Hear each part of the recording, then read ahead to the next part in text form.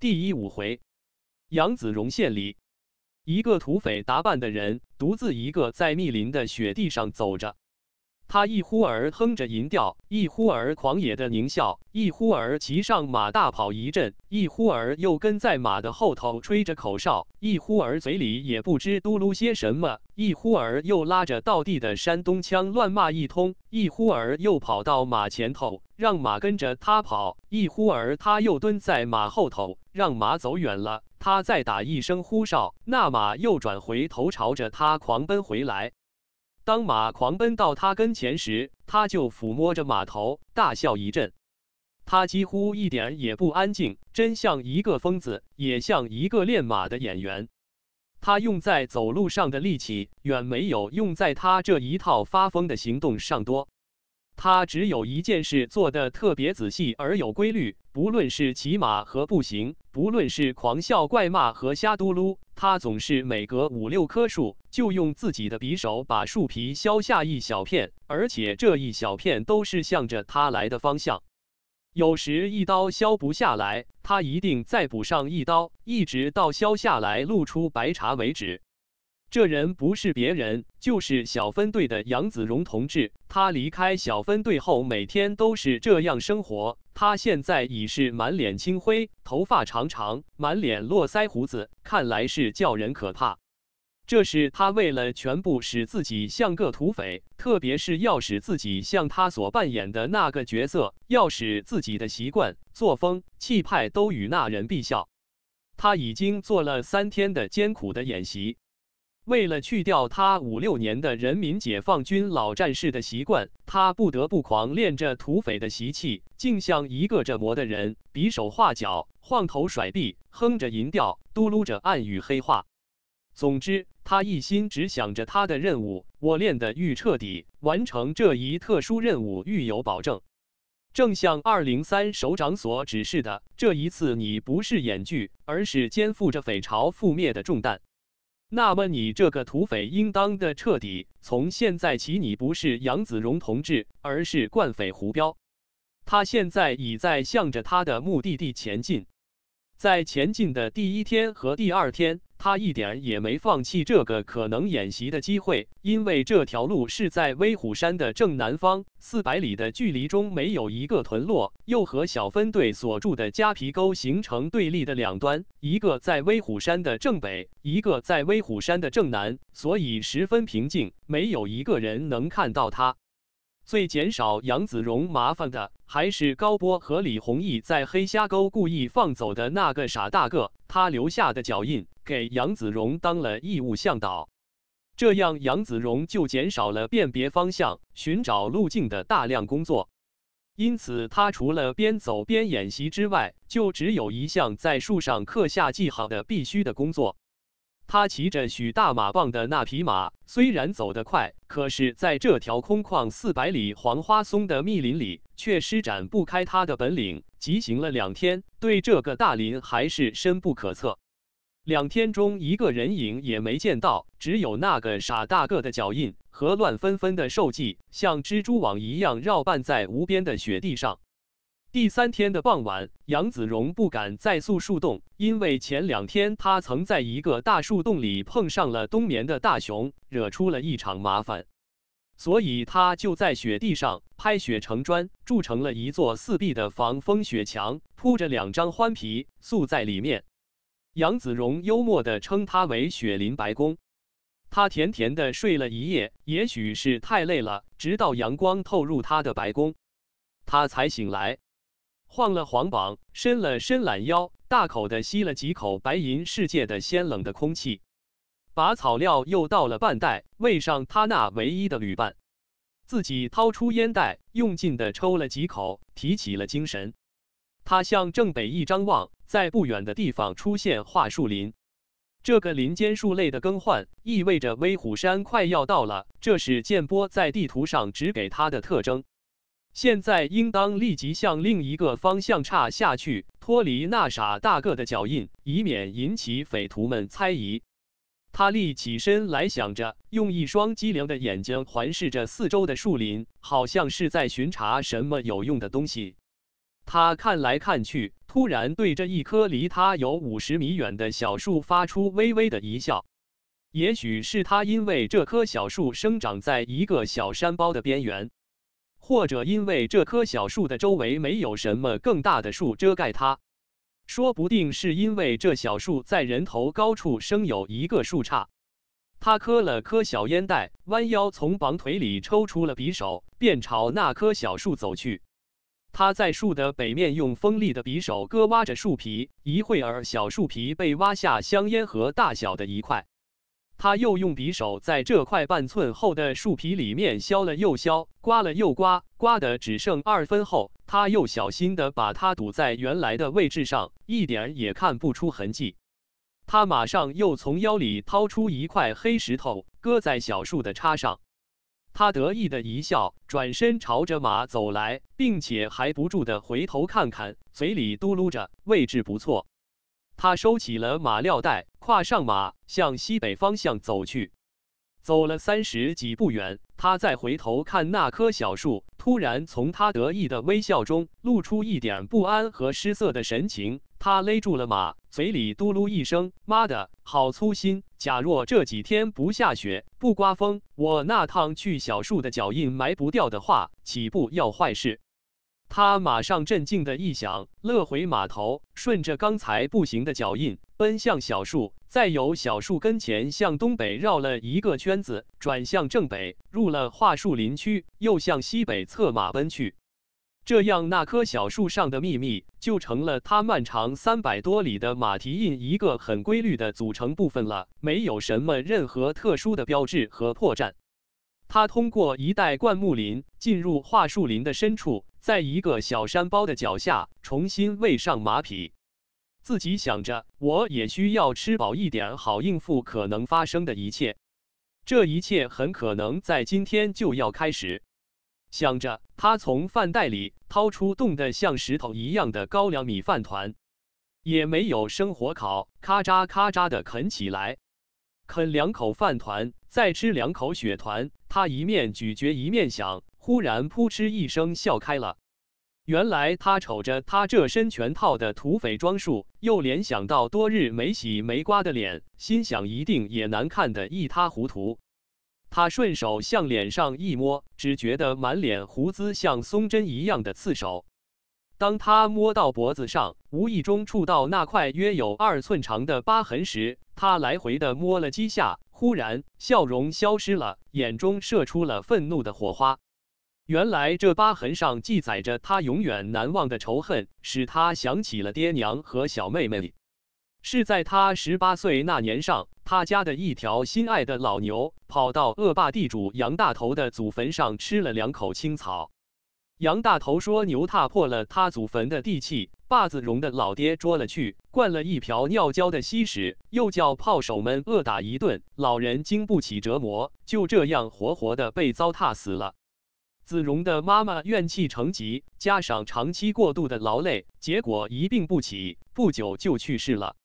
年轻的杨子荣天天想报仇，可是，一来力孤势弱，二来没有机会下手，也只有长期的忍耐着。”真是祸不单行，仇还没报，杨子荣又遭到差一点致死的残害。是在那年的大年三十那天，杨大头的后宅院失了火，烧得他焦头烂额。杨大头以为这是杨子荣的报复，把这笔纵火账强赖到杨子荣身上。他招来些狗腿子，把杨子荣吊在大槐树上毒打一顿，脖子上被砍了一菜刀，他昏迷过去了。杨大头为了根除后患，决心害死杨子荣。当夜预备把杨子荣抬上西南山的岩石上摔死。幸亏好心的长公杨四铁杨子荣的青年朋友偷偷的放跑了他。从此后一直七年漂流在外。杨大头死了，他才回到老家。这时他才知道他的小妹妹被杨大头抓去当丫头，后来又不知把他卖到哪里去了。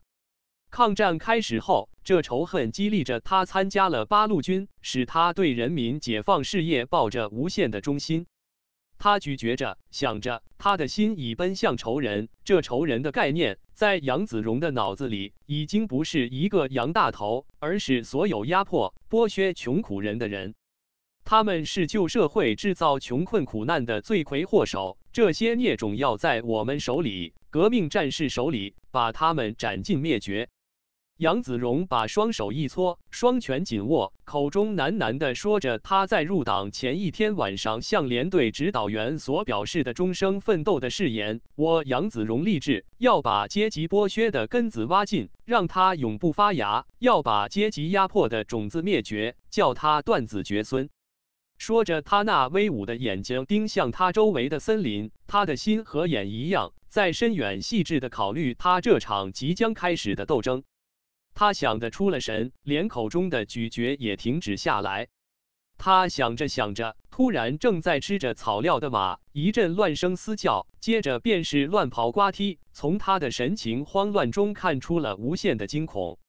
杨子荣站起来，向马经士的方向望去，望了一会儿，什么也没有，桦树林依然寂静无声。他回头再看看马。他已是全身抖颤、气喘吁吁，两只恐怖的眼睛直望着西北方丛林，频频地回头望着杨子荣，好像求救似的。杨子荣已敏感到必有名堂，心中一阵忐忑，扔掉了手中的饭团和血团，抄起了步枪，走进马跟前。马急忙向他身后一贴，好像在让他挡住什么凶恶的敌人一样。杨子荣又张望了一会儿，还是没有什么。他转过身，抚摸马头，向他安慰道：“别害怕，什么也没有，我来保护你。快吃吧，吃饱了好完成咱们的任务。”说着，他紧了紧拴在树上的缰绳，防止被他挣脱。然后他隐蔽在一棵大树后面，紧握着枪，又抽出锋利的匕首，继续向周围了望探索。这时，马又一次的惊恐嘶叫起来，拼命的挣了两下缰绳，但没有挣脱。接着，他四腿弯弯，抖颤得站立不住了，看看就要绝望的倒下去。杨子荣一阵惊奇，口中嘟噜道：“妈的，什么东西？这么大的威风，把匹活龙驹都给吓瘫了。”他还没来得及回头，突然一声巨吼，灌木丛中扑出一只大个的东北虎，张着利牙，竖着尾巴，一冲一冲的向马扑来。虎尾扫击着灌木丛，刷刷乱响，震得血粉四溅。马被吓得不跑也不踢了，垂着头，两眼死盯着扑来的恶敌，从鼻子里发出低沉的哀鸣。杨子荣还是头一次看到活老虎，离得又这么近。又是来吃他的马，这突然来的惊恐使他气喘不安，心砰砰的乱跳，手中的枪也随着他的心有些抖颤。虎一冲一冲的向马扑过去，离得已经很近了，得赶快下手。这匹马不仅是我的快腿，主要是我的身份证，失了它就等于失掉了身份证。想着，他用力地把身体贴紧树干，把匕首用力向树上一插，把枪架在匕首上，克服了枪身的抖动。他压住了紧张的呼吸，从虎的侧面瞄准了虎头。他蛮有把握的一扣扳机，遭急了，一颗臭子儿没打响。老虎一点也没察觉，继续向马扑去，只有三十多步远了。杨子荣惊了一身冷汗，唰的一声抽出大肚匣子，向虎划的一梭子。老虎只是一惊，在地上打了个滚，显然又没打着。他爬起来，向枪响处猛吼了两声。当他发现了树背后的杨子荣，便来了一阵凶狂的示威，吼声震得在全山回响，尾巴像条巨大的鞭子，打得地下雪沉四扬。杨子荣趁着他示威的这一刹那，用步枪再射一枪，好极了，这一枪总算打响了，可是没打着老虎，子弹在离他三四步的距离着地。他赶忙又推弹上膛，向着扑过来的猛虎又是一枪。可是又没打着，老虎连蹦两个高，显得更凶恶，向杨子荣直扑过来。打虎不中，翻倍伤人，妈的几枪没打准了。杨子荣全身绷紧的像石头，再来他一枪，愈近愈有把握。沉着，沉着。他一面紧张呼吸，一面盯着这个扑过来的恶敌。只离十步距离了，老虎把前爪向地下一按，准备他最后的一扑。好机会！杨子荣当的一枪打中了老虎的一只前腿。这一扑，他没有扑到应有的距离，可是离杨子荣只有三四步远。老虎一声狂吼，直立两只后腿，张开血盆似的大嘴，迎面扑向杨子荣。杨子荣就在这一瞬间，枪口对准了虎嘴，当的一枪，枪弹通过口腔，从脑盖骨穿过，老虎扑卧在雪地上，只有一条尾巴乱搅了一阵，死去了。杨子荣上前两步，用脚踩着虎背，蹬了两蹬，死老虎已全身松软，他自己也和老虎一样，全身松软，四肢一点力气也没有，一屁股坐在雪地上，爬也爬不起来，腿和手抖颤得更加厉害。他一仰身躺在雪地上，想恢复一下过度的紧张。他偏过头去看了看那匹受惊如瘫的马，此刻已十分平静了，在安闲的吃着草料。杨子荣一阵轻松的喜悦，擦了擦额上的冷汗，得意的自言自语道：“有意思，要去威虎山，半路上又过了个景阳岗。”但他又想，这个虎怎么处理呢？送回小分队吗？已是不可能的事。带到威虎山去吗？这只大虎又太笨了。我这次虽是去县里的，可是所有礼物的一分一毫也不能为匪徒所得。我给予他们的只是他们的覆灭，怎么办呢？只有埋起来，深深的埋在雪底下，等搅完座山雕再取下山去。他微微一笑，有意思。那时我们拿着一虎一雕下山，该多有趣！小分队同志不知能乐到个什么样子呢？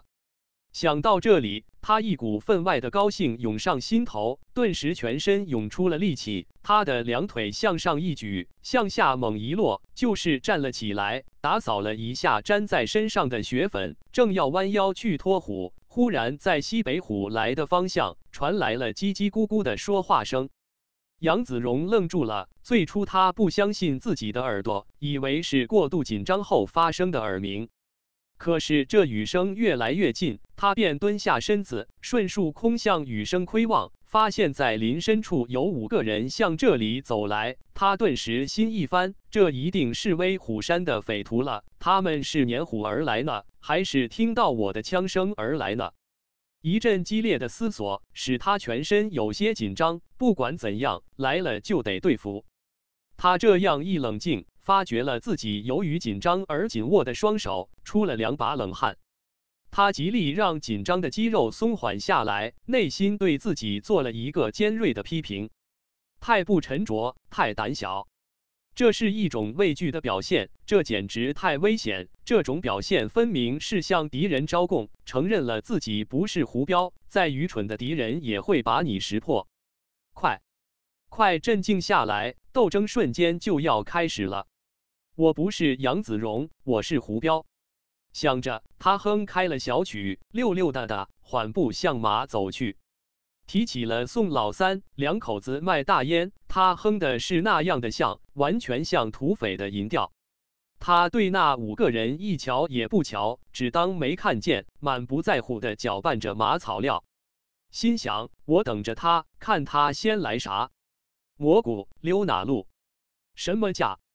五个人中的一个发出一句莫名其妙的黑话，杨子荣一听，心想来得好顺当。他笑嘻嘻的回头一看，五个人精瞪着十只眼，并列的站在离他二十步远的地方。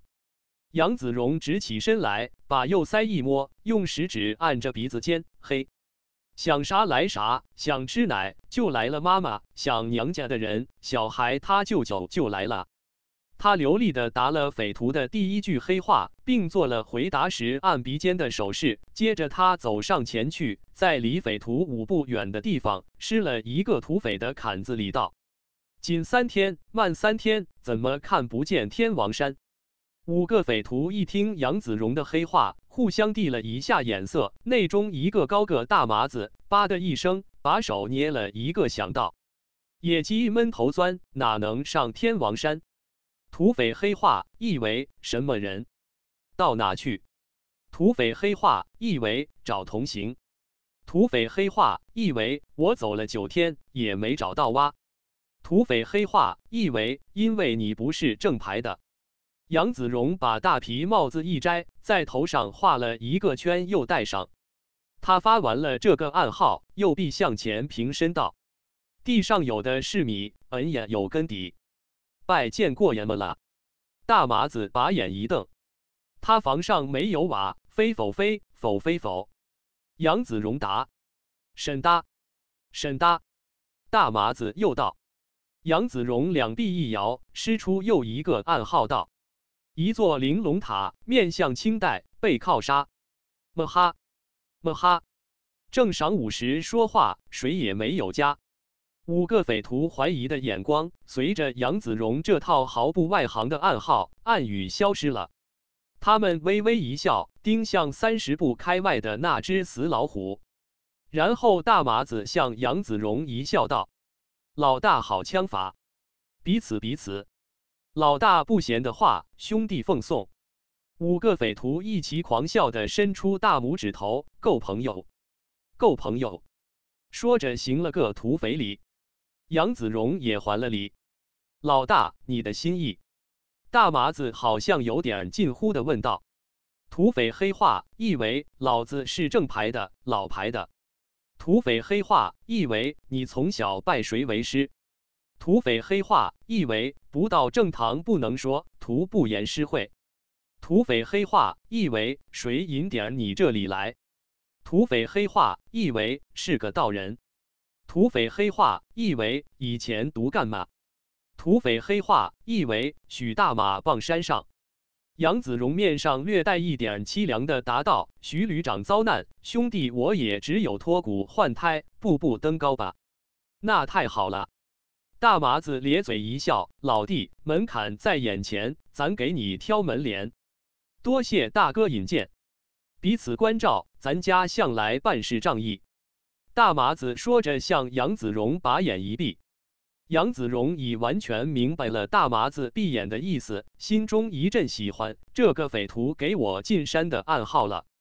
想着，他从腰里掏出一条三寸宽、二尺长的黑布，把黑布一甩，道：“朋友，稍等。”杨子荣把步枪和大肚匣子挂在马鞍环上，收起了马料袋，解开马缰绳，然后按着匪徒的山规，把那条黑布蒙在眼上扎好，背向着大麻子等五人道：“好教的，方便。”大麻子哈哈一笑，道：“错不了，朋友。”说着，他命令其余四人把虎抬在马背上，又用匕首削下一根树枝，一端递给杨子荣握着，另一端大麻子自己握着，顺着五个匪徒的来路向正北而去。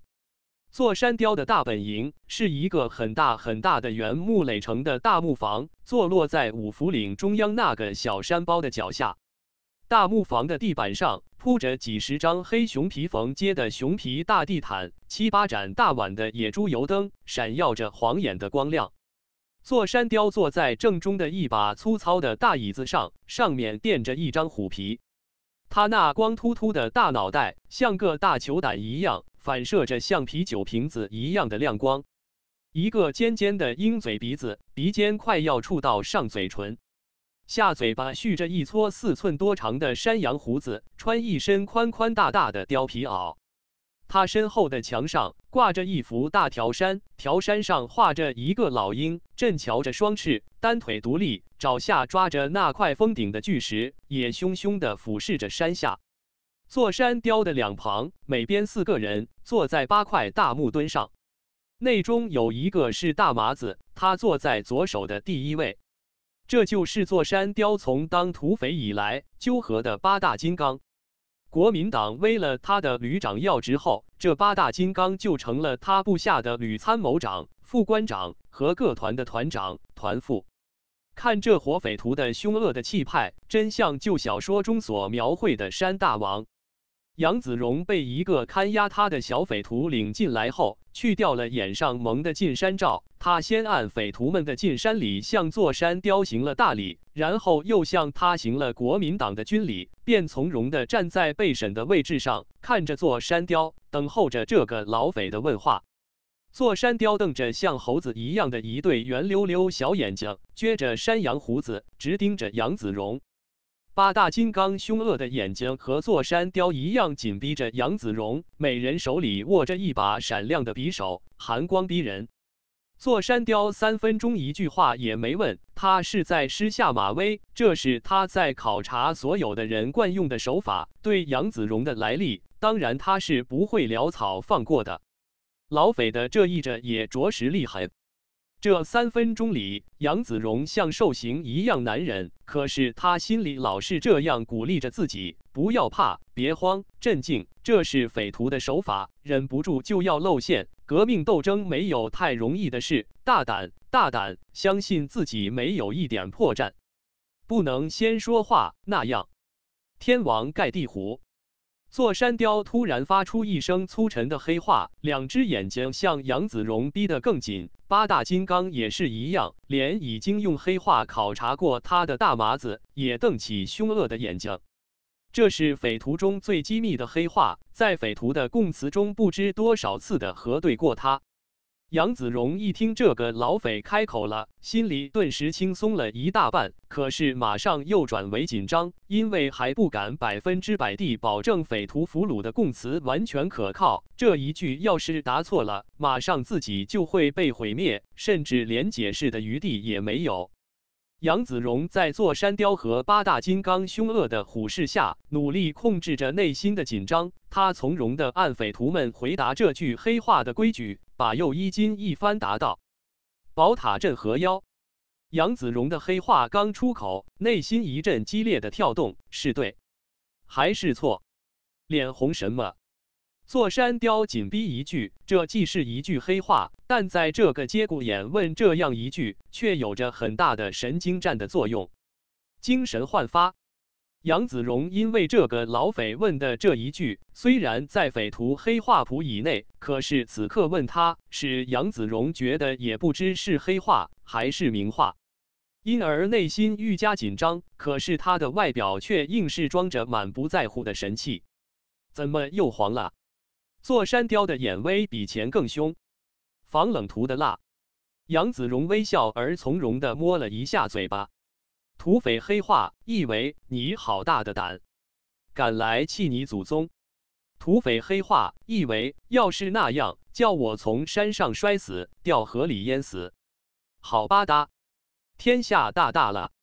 座山雕听到被审者流利而从容的回答，嗯一声，喘了一口气，向后一仰，靠在椅圈上，脸朝上，眼瞅着屋顶，山羊胡子一撅一撅的，像个兔尾巴。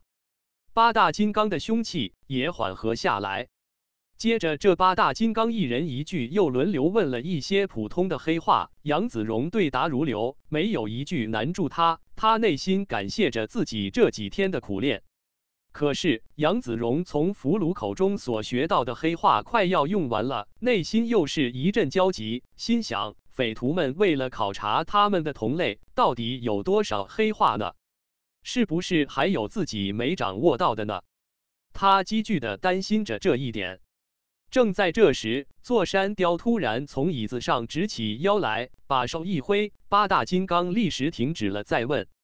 他捋了两下山羊胡子，哼了哼鹰嘴鼻，把鼻尖歪了两歪，拉着长枪，傲慢地向杨子荣问道：“这么说，你是徐旅长的人了？”杨子荣一听黑话结束，心里就像卸了重担一样的轻松，神色更加从容。他点了点头，答道：“徐旅长的四马副官胡彪，你想怎么办呢？投奔三爷，好步步登高。”山穷水尽也有点进见里。土匪黑话意为内行是把老手。土匪黑话意为不吹牛，闯过大对头。杨子荣笑嘻嘻地托三爷的威风，一只老虎碰到我的枪口上。座山雕咯咯地笑了一阵，八大金刚也狂笑了许久，还恭维着他们的魁首道：“三爷碰得真巧，六十大寿，有人献虎。座山雕在狂喜中使了个眼色，大麻子从身后舀了一大碗酒，递给杨子荣。杨子荣一看来了酒，内心完全轻松下来，这证明匪徒的进门坎子已经结束了，往下便可以随便些。他接过酒，朝空一举，咕嘟咕嘟一饮而尽。喝完后，把满脸的胡子一摸，转身坐在一个木头墩子上。他决心把他准备的真正礼物再晚一点献，好让这些匪徒看中自己。于是他拿出了土匪的气派，装上一袋烟吸着，说开了他这个胡彪的来历。三爷，我胡彪这趟溜子可不容易，跟徐旅长多年，还没苦过这么一次。奶头山被共军打破以后，徐旅长和弟兄们都被囚起来了，只有几个人流了水。栾副官没在山上，夫人和郑三炮找侯专员讨风去了，窝在蜡烛台养马，只有咱们四个人没遭难。现在俺们四个都各奔各的咧，我老胡走了一个多月才来这里，那栾副官哪里去了呢？座山雕急急地打断了杨子荣的叙述，眼中放出一种贪婪的神色。杨子荣一眼就看透了这个老匪的心事，于是他故意哎的一声，叹了一口粗气，摇了摇头：“别提了。”“怎么？你见到他没有？”座山雕有点焦急的样子。杨子荣吸了一口小烟袋，看是看见了。是在梨树沟他三舅家碰面的，可是这个人呐，真他妈的不够朋友。哼，那么刘维山和老栾碰面没有？什么？杨子荣故意的问道。刘维山，刘维山，座山雕好像是担心着什么，就是那个一撮毛，他的手向右腮上一笔画。杨子荣早明白了这个老匪的意思，便故意拉了拉架子，摇了摇头，不认识，我也没看见什么一撮毛。嗯，座山雕眉头一皱，若有所虑的纳起闷来。梨树沟他三舅家，一撮毛一定也去呀。他自言自语的抽了一口冷气，把头一歪。杨子荣心想：叫你们这群老匪猜吧，你们这辈子也不用想再见一撮毛了。静了一些时刻，座山雕又一身脖梗向杨子荣问道：“那么老栾他的心意怎么样呢？”杨子荣见谈到了正题，故意拿拿架子：“妈的，一言难尽，请再来一碗酒，咱慢慢谈。”杨子荣本来就酒量很大，又加上座山雕的酒全是匪徒自造的野葡萄酒，度数很低。在部队时，杨子荣是遵守军纪的模范，从未喝过酒。可是，在这个节骨眼上，他却要来他几大碗，在匪徒面前要表表他的气派，不能当个低三下四的了啰。座山雕为了探听出他长期找的那栾匪的消息，忙令大麻子又舀了一碗。杨子荣接过来，又是一饮而尽，试了试嘴，清了清嗓子，道：“老栾真他妈的不仗义！我们俩一见面，他就三番五次的拉我直接去投侯专员。我想他手里拿着徐旅长的先遣图，我他妈的单枪匹马到了那里，我怎么能吃得开呀？别他妈的拉我给他当随从！老胡向来不舔别人的碗边，叫我喝他们的冷饭汤呀！”我不干，又加上蝴蝶迷和郑三炮在那里，我他妈更不去了。那些不仗义的家伙眼里从来就看不起我老胡。说正当一点，他们是怕我老胡，个顶个哪个我也不怕他。我能跟这些小耗子去当差事吗？